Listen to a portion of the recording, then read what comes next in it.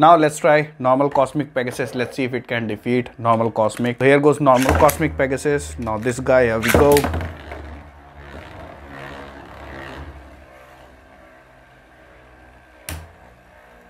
So i believe fd is about to activate it.